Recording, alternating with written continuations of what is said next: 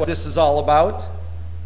Uh, had everything from a baptism to a foot washing, uh, but you'll see what it is. Uh, you're gonna, you, nobody's gonna get it, so don't hold your breath.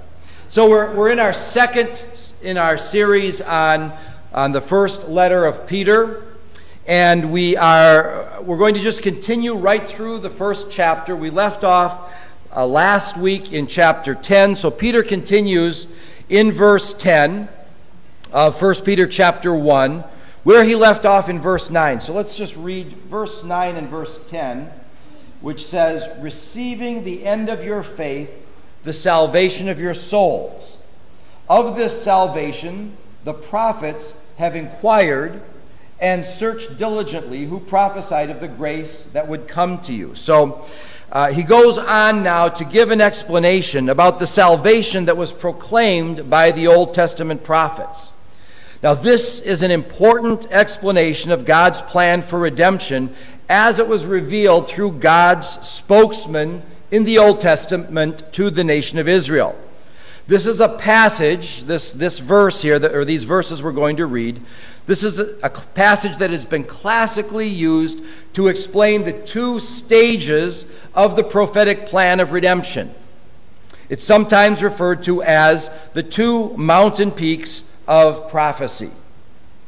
Now, last week I mentioned that 1 Peter is in many ways a commentary on Isaiah 53, which is the prophecy of the suffering servant who was like a sacrificial lamb on whom the sins of the world had been placed.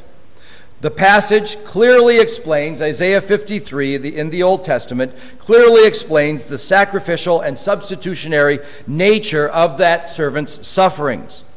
Peter describes in clear and unambiguous language that Jesus was that suffering servant, and he was the fulfillment of all that was described by Isaiah 700 years earlier. Part of that explanation is seen here in verses 10 through 12. And so here we go on to what we had been reading earlier.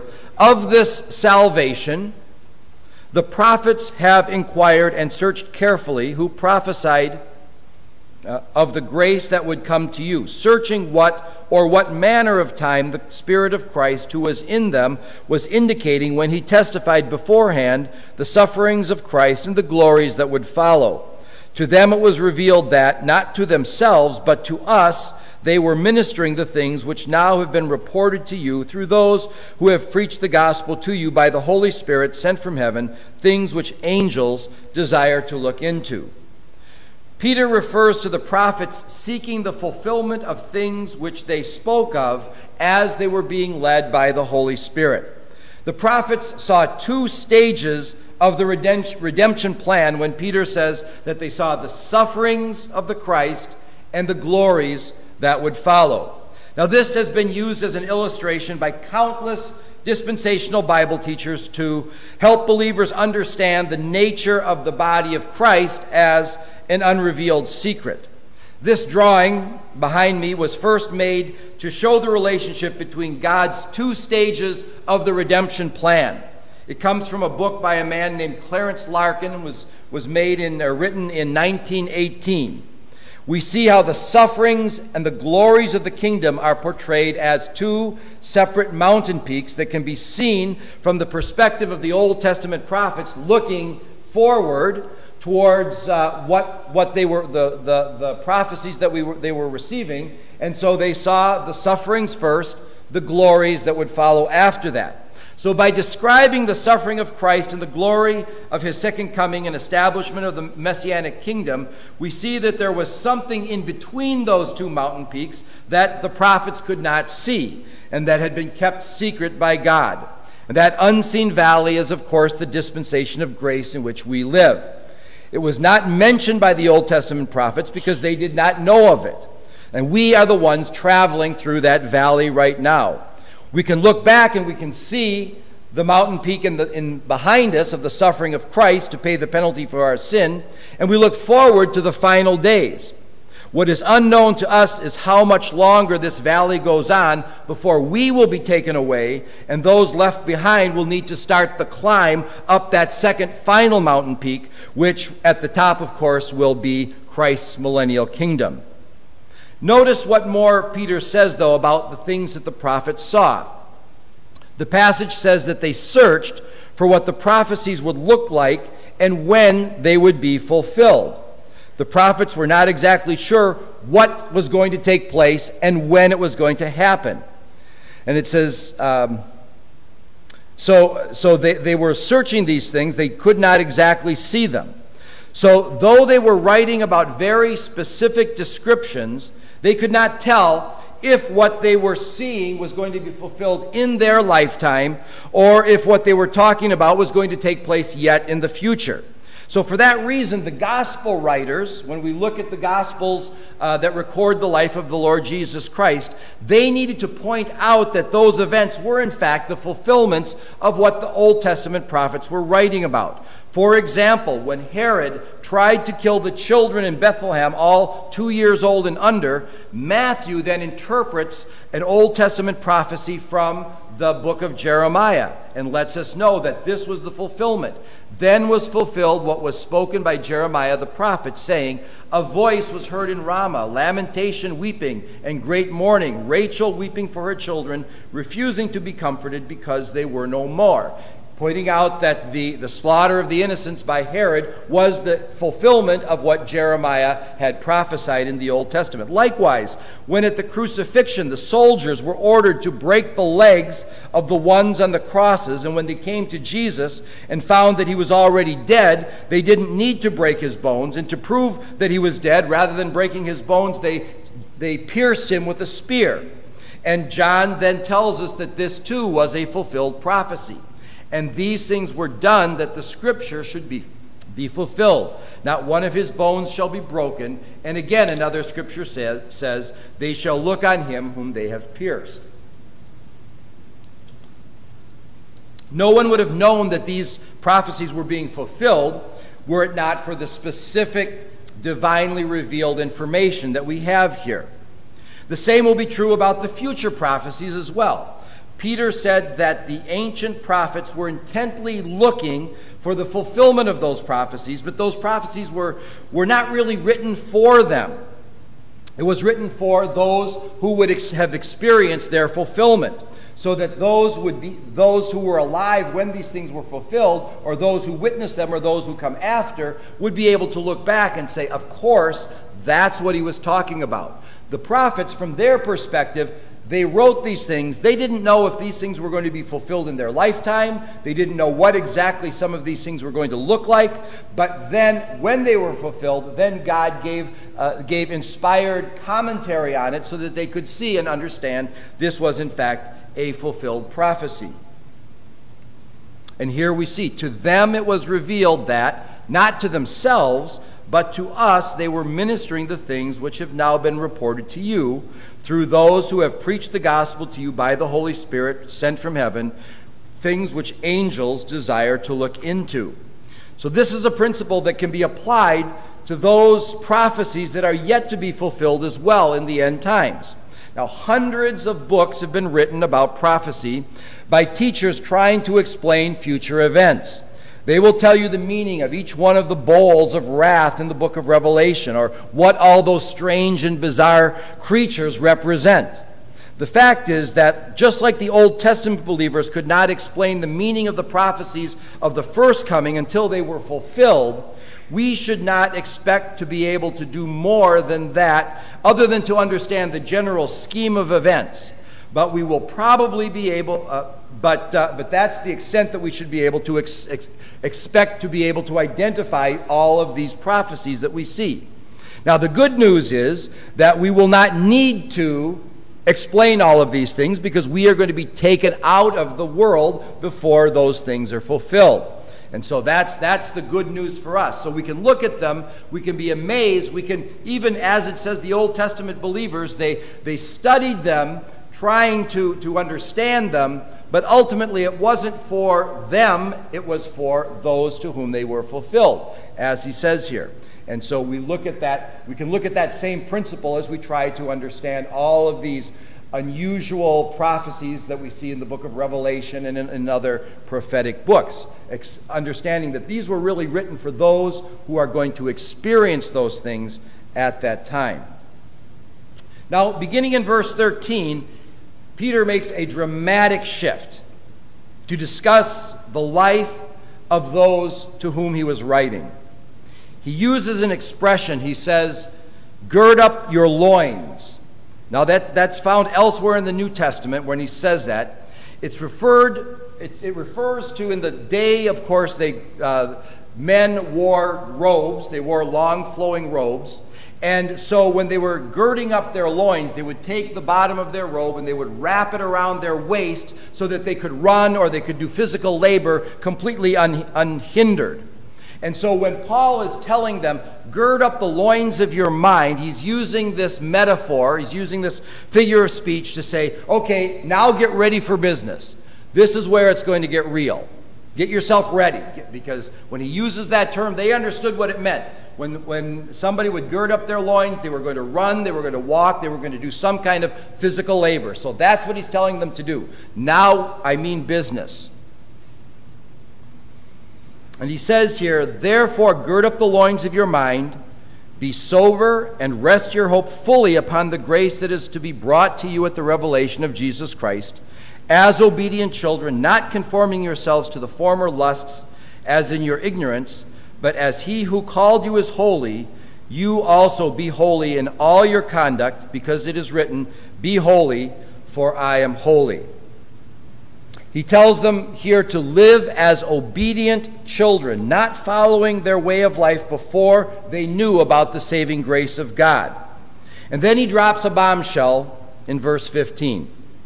He says, Just as God is holy, his children are to be holy. Now, this is a monumental command to be holy as the Lord Himself is holy. Just think about what that means. Be holy as I am holy. Now, what exactly does He mean by holiness? The words that are used in both the Old Testament and the New Testament uh, that come from, from pagan backgrounds have the connotation of setting something apart for religious purposes. Temples were used for pagan worship. They were set apart to be used for exclusively for that purpose. And that's where this idea originally comes in the, in the pagan background of, of uh, religious worship. However, the Lord God as he revealed himself to Israel, gave this term a much greater meaning. Holiness is understood to be an attribute of God himself. It was not just taking an object and setting, apart, setting it apart, it was the idea that God himself was apart from creation. He was separate, and he was separate in a moral and an ethical sense. As I said, holiness is an attribute of who God is. In fact, I've heard it said, I've heard it described that holiness is the attribute of God, and all the other characteristics emanate from his holiness. I've read the following quote describing it Holiness is like the sun's rays combining all the colors of the rainbow into sunlight. That all of these other attributes of God are really summarized in this single attribute of God's holiness. Holiness has the primary connotation of being separate. And so when we are called to be holy as God is holy, we are to live lives as though we are separate from the corruption and the sin of this world. That does not mean that we live in isolation, that we are called to, uh, but rather we are called to engage and to confront the world, but we are still to be separate from its behavior separate from its values, separate from its priorities upon which the world system is based. We are to separate ourselves from all that the world stands for, all that the world desires, all that the world wants. That's the first connotation of holiness. To be holy as God is holy, however, is not an easy standard to attain. It is accomplished, of course, in a positional sense. When we believe the gospel, we are baptized by the Holy Spirit, and one aspect of that baptism is that we are separated from the world and made righteous in God's sight. That position cannot be changed. It's the way that God sees us because of the perfect righteousness of Jesus Christ that has been credited to us. The context here, though, is clearly referring to our practical life. It's not talking about our positional holiness. He's, he wouldn't command that, it doesn't need to be commanded. If we've believed and trusted that Christ is our Savior, we have that positional uh, holiness, we have that positional sanctification. He's talking in practical terms. So, since we live and still struggle in this life, and because there is still a sinful nature, the remnants of the sinful nature that are within us, which will never be eliminated, is this an expectation that we can even reach? To be holy as God is holy. I would say in our day to day life it is un- unachievable. But that's why this doctrine of positional sanctification is so important. Understanding that God will always see us as holy and righteous and justified in His sight means that we don't need to fear failure. Very much like the song that Josh was singing. You know, I, I, can I be good enough? It's already been done. That's why the value of understanding this positional sanctification. God is telling us to be holy as He is holy, but while we're still struggling with sin in this world, it's not going to be accomplished, really. We're always going to have something that's going to be, that's going to be holding us back, keeping us short. But understanding the fact that, that we have, have this position in Christ that is unalterable, that cannot be changed, we don't have that need of, to fear failure.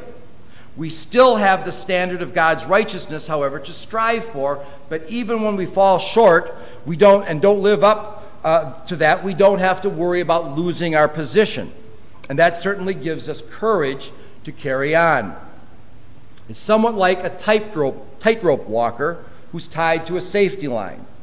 He's walking across a canyon, or maybe between two buildings, or across the, the um, Niagara Falls, and he might slip and fall. But as long as he has that wire to keep him there, he's going to eventually accomplish that goal. He just doesn't give up. He gets back on the tightrope and he keeps going. And so, if we, even though we can never achieve this perfect holiness, and since we are secure in Christ, some might ask themselves, well, why do we even try? Why do we even try to live a, a righteous and holy life? Well, the answer is very simple because we're told to be holy as I am holy. It's not something that we have to argue about or even have to try to, to uh, rationalize. We don't have to say, well, God, you know, I can't do it. I still have this sinful nature that's, that's still bugging me. I still have all of these, these issues that I can't overcome. Anyway, I'm already secure in you. I'm already safe. So what's the point? He's saying that's, don't, don't reason that way. That's just like what Paul says when he says, Shall we go on sinning that grace may abound? God forbid. Don't, don't even think that way. That's not the way the Spirit of God is going to be guiding you.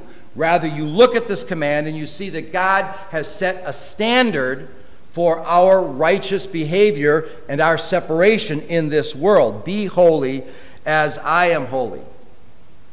It's similar to the command that Paul gives when he says, Present your bodies as living sacrifices, holy and acceptable to God, which he says is, is our reasonable calling. This is what we are called to do. So the question then is how do we accomplish this? Is it a matter of just trying to, you know, get rid of all the sin that we can just by, by personal effort? So I know you've all been wondering what this is here for. And so this is, uh, now you're going to finally find out.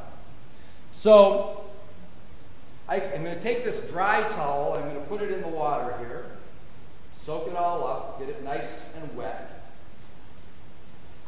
Then I'm going to wring it out using all my effort.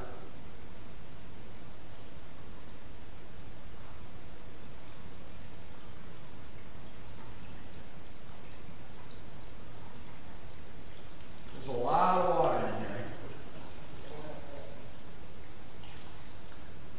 Okay. So as tight as I wring this, I'm going to get about 98, 99% of the water out of here. But is this dry yet? Nope. No matter how much I wring it. In fact, once I reach a certain point, and I can see I'm dripping all over the place. Once I reach a certain point, it actually becomes it actually becomes counterproductive. Because as you tighten it up more and more, then of course the air that really is going to complete the job can't even flow through. I could, it will sit here for a week. If I leave it like this and just set it there, it's going to sit there soaking wet for a week. It's never going to get dry.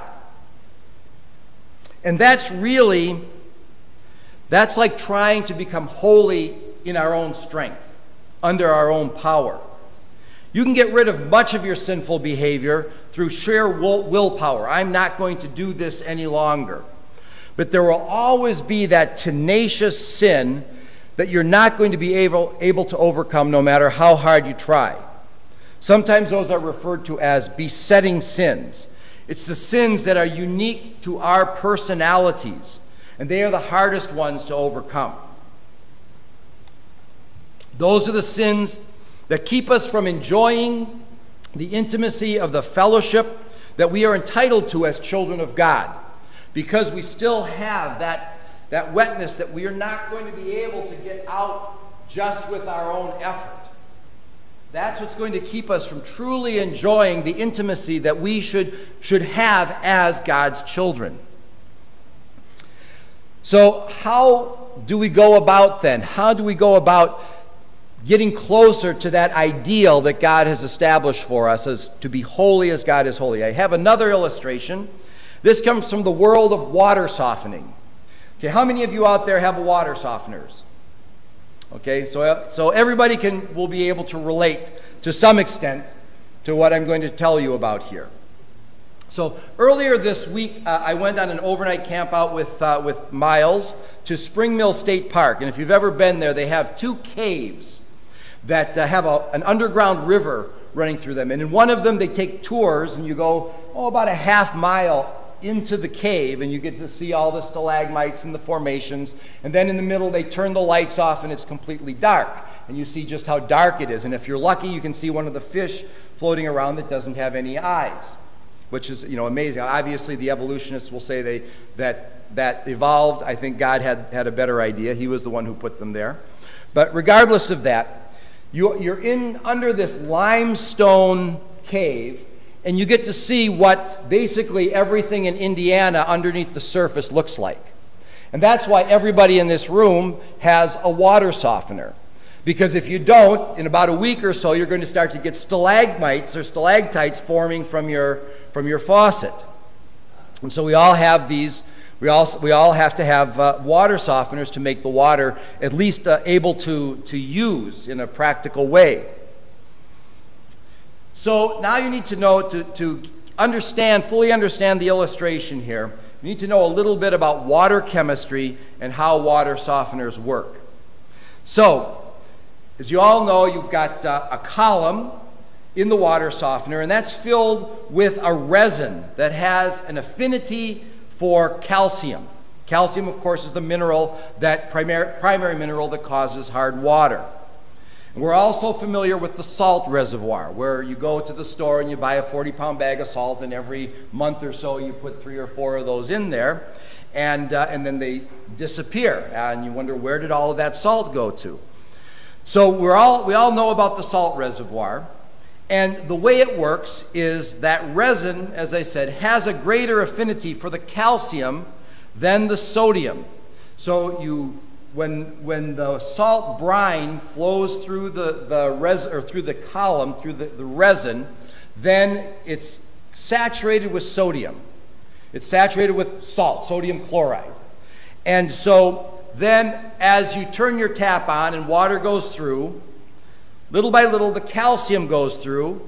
And because that resin is more attracted, the calcium is more attracted to the resin than the sodium, it replaces the sodium with the calcium. And so that's why what comes out of, the, out of your faucet does not have the hardness because calcium is removed. The sodium, which doesn't cause hardness, doesn't cause the, the bad effects in the soap and all those kinds of things, are, um, it, it doesn't really matter there. So, so then after a, after a week or two or something like that, then the column with the resin is full of calcium.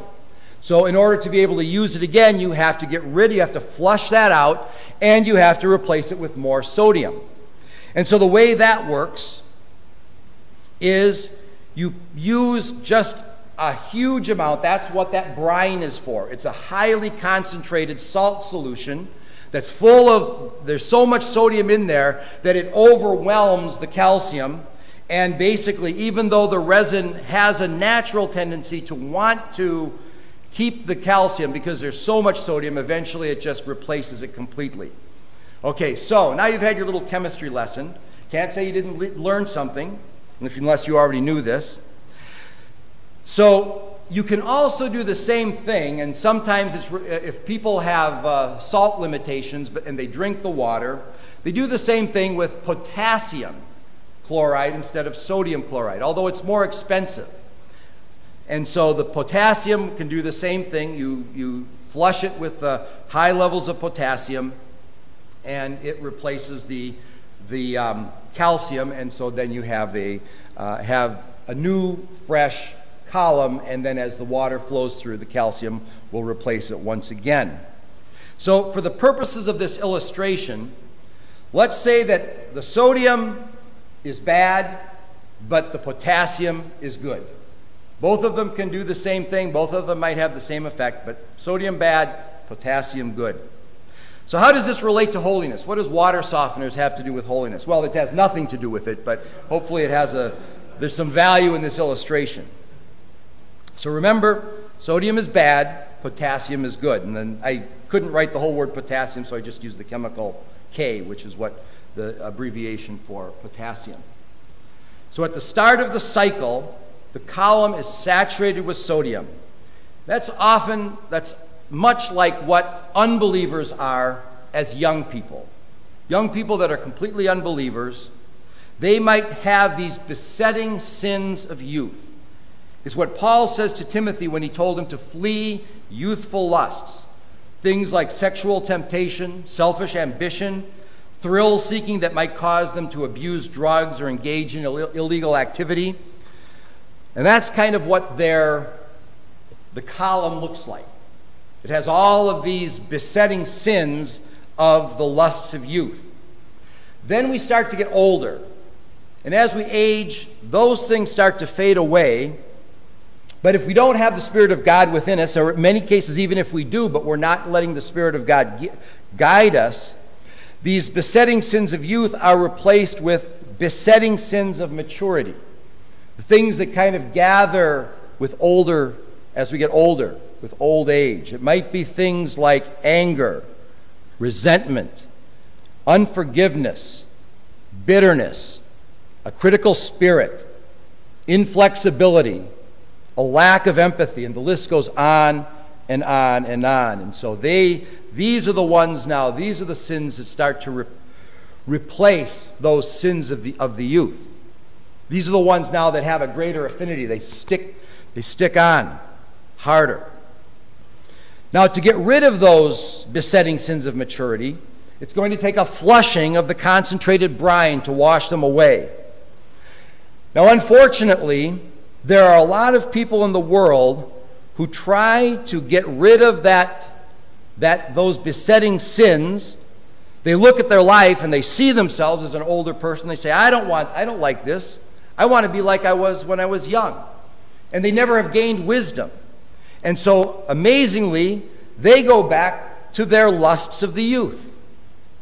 And this is, this is really true. I've talked to a number of pastors who live in retirement locations like Florida and uh, Arizona, places like that, places where snowbird, snowbirds like to go to get away from the cold. And they have told me about the terrible problems that, these, that they have to deal with with retirees who go to these places and try to act like kids again. They figure that, well, they're done working, they're done raising their family, the women know that they can't get pregnant, and they're away from the communities that they live in and grow up in, and so whatever happens there, nobody knows and nobody cares. And I, I had one pastor who described it to me pastoring a, a, congregation of more, more or less retirees. He said, I feel like I'm a youth pastor again. Because I have the same problems drunkenness and sexual immorality and all these kinds of things that these kids were dealing with. Now I have people at the other end of the, of the spectrum. I've read that the population with the highest growth rate of sexually transmitted diseases are those over 65. Obviously, those are those who have those are individuals who have never gained maturity. And what's more is that is certainly not the route that the devoted the devout Christian, the devoted Christian should take. Now, the way that God would want us to eliminate those besetting sins of maturity is also with a brine, but with the good brine, the brine of His Word. The result would be of saturating ourselves in the truth of the Scripture, which will ultimately yield the fruit of the Holy Spirit. We need to have a greater concentration of God's Word flowing through us. We need to have that, that, that super concentrated um, presence of God's Spirit through His Word flowing through us so that that old the old sins of the calcium of, of the sins of maturity are replaced with the, the word of god with our replaced with the the, uh, the truth and, and the, the fruit of the spirit that comes through exposure to god's word. And this is exactly what peter says in the rest of the chapter he points out beautifully how we need both first of all to have the gift of eternal life it begins with the gospel, it begins with the transformation that comes through knowing the gospel, and then with the Word of God. And as we continue through this chapter, we can look and we can see how he develops that idea. So he gives us the instruction here in verse 15 be holy as I am holy. So, how are we to do that? Obviously, he reminds us that it begins with a relationship with Jesus Christ. It begins by knowing, believing, trusting that Jesus Christ died on the cross to pay for our sin. Verse 17 in this passage, it says, And if you call on the Father, who without partiality judges according to each one's work. This is a warning to the unbeliever. Because the believer, for the believer, that judgment has been taken care of. For the unbeliever, however, that judgment will take place when the books are opened at the great white throne judgment and all of their works are laid bare and judged by, by the Father. Here in Revelation chapter 20, it says, Then I saw a great white throne and him who sat on it Uh, from whose face the earth and the heaven fled away, and there was found no place for them. And I saw the dead, small and great, standing before God, and books were opened, and another book was opened, which is the book of life, and the dead were judged according to their works by the things which were written in the book of life. The sea gave up the dead who were in it, and death and Hades delivered up the dead who were in them, and they were judged each one according to his works. Then death and Hades were cast into the lake of fire. This is the second death. Anyone not found written in the book of life was cast into the lake of fire. Then Peter goes on in this passage with strikingly beautiful language about how we avoid those just rewards for our dead works. It's by having been redeemed with not with incorruptible things Things not like silver and gold, which are going to perish and pass away, but with the precious blood of Christ as a lamb without blemish or spot. And we read this beautiful passage. This is, this is uh, a reiteration of the fact that Jesus Christ's death paid the penalty for our sin, but he uses such, such wonderful language here to express it. He says, knowing that you were not redeemed with corruptible things like silver or gold from your aimless conduct received by the tradition of your fathers, but with the precious blood of Christ as of a lamb without blemish and without spot. The passage then goes on to describe the second stage of developing holiness. It begins with a relationship with Jesus Christ through believing the gospel. The second stage, of course, is through the Word of God. He starts with the assumption that his re- readers have trusted the gospel and having purified your souls. It says, Since you have purified your souls in obeying the truth through the Spirit in sincere love of the brethren, uh, love one another fervently of a pure heart. So he begins with the assumption that they have had their, their souls purified through faith in the gospel. But then he goes on once again with, with, with beautiful language to describe this, talking about how it is God's Word that guides us. God's Word that helps us through this process of attaining holiness, and how it is unchanging and it lasts forever. And look what he says here. Since you have purified your souls in obeying the truth through the Spirit in sincere love of the brethren, love one another fervently with a pure heart, having been born again, not of corruptible seed, but incorruptible, through the word of God which lives and abides forever. Because all flesh is grass, and all the glory of man as the flower of the grass. The grass withers, and its flowers fall away. But the word of the Lord endures forever. Now, this is the word by which the gospel was preached to you. Now, the world wants us to believe that it's always got some new and better philosophy by which we are to live our lives. There's always some new intellectual fad that we're supposed to follow along with. In recent decades, it's been, we've been told that we need to interpret everything in the world through the lenses of postmodernism which states that there is no objective reality, that everything is just a social construct that has been shaped by our cultural experiences. Whatever is true for, true for you is true. Whatever is true for me is me, even if they contradict one another. Of course, those ideas are soon going to be replaced by something else. Peter reminds us, however, that there is universal truth, and that truth is contained in the eternal Word of God. And it's only by saturating our souls with that word that we can even begin to approach that standard that God has set for us, which is to be holy as He is holy. And so we look through this, this passage of Scripture. There's just so much wonderful truth, and I've only really scratched the surface. There are a lot of verses that I, that I left out here, and I would encourage you to go home and to study this more personally for yourself. But with this, keep in mind the, the command that God has given us that He is instructing us to be holy as He is holy. And the only way that's going to happen is through saturating ourselves with the truth of God's Word.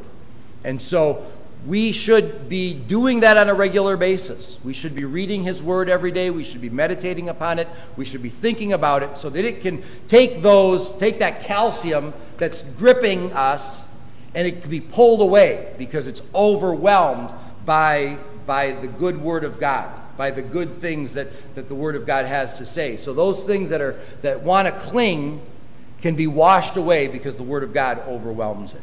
Let's pray. Heavenly Father, we thank you for this, uh, this beautiful passage of Scripture, the way that, that Peter has so eloquently, obviously through the Holy Spirit, described both the, the, the sacrifice of Christ, the endurance of the Word, uh, the permanency of your truth. And I pray that we can look at this and that we can absorb it ourselves, and that we will make the Word of God that, that reality that is flushing out that sin within us, flushing out those besetting sins that, that don't want to let go. And that the more that we flush, the more that we have that, that saturation of God's word, we will be able to come